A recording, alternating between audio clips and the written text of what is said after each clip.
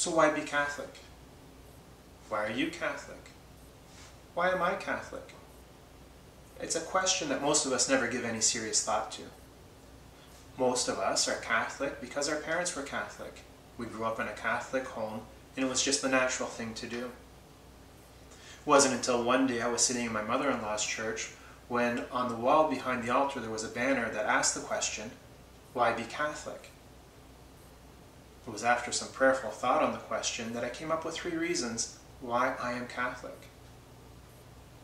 The first reason why I'm Catholic is the Eucharist, the body, blood, soul, and divinity of our Lord and Savior Jesus Christ. The Catechism of the Catholic Church teaches us that the Eucharist is the source and summit of our faith. It's the source from which all that we believe in comes from, but it's also that summit to which we all want to return. Jesus not only told us that the Eucharist is his body and blood, but he also taught us that he is the way, the truth, and the life. That question of the truth today is a hard one.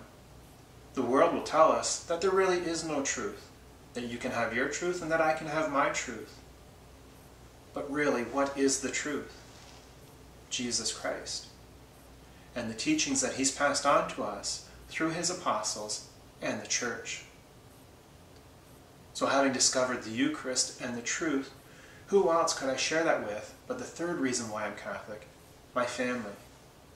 That's how the faith has come down to us from generation to generation, from parent to child.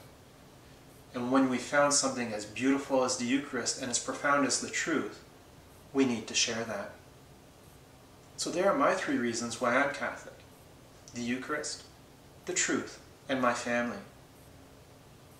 Why are you Catholic? That's a question that will not only form you, but will transform you. I'm Robert Leblanc, and this has been a Catholic Moment.